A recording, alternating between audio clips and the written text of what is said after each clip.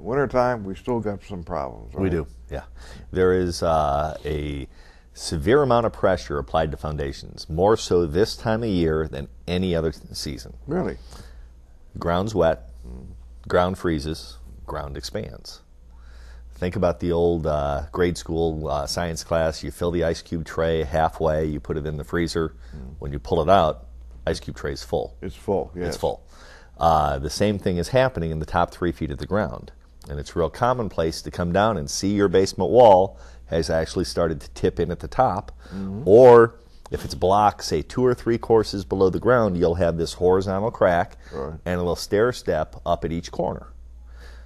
That's a sign that your basement wall is failing. Now it's not collapsing, hopefully, you know, but it is moving. And a firm foundation is what you want underneath your house. You do not want that wall moving in and out.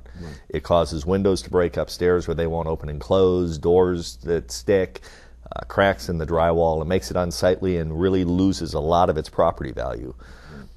It also will not fix itself. Once it starts in, it's going to progressively get worse and worse and worse over the years. The earlier you catch it, the cheaper it is to fix. That makes sense. And I mean greatly cheaper. If I catch it at the beginning stages, I don't need the backhoe.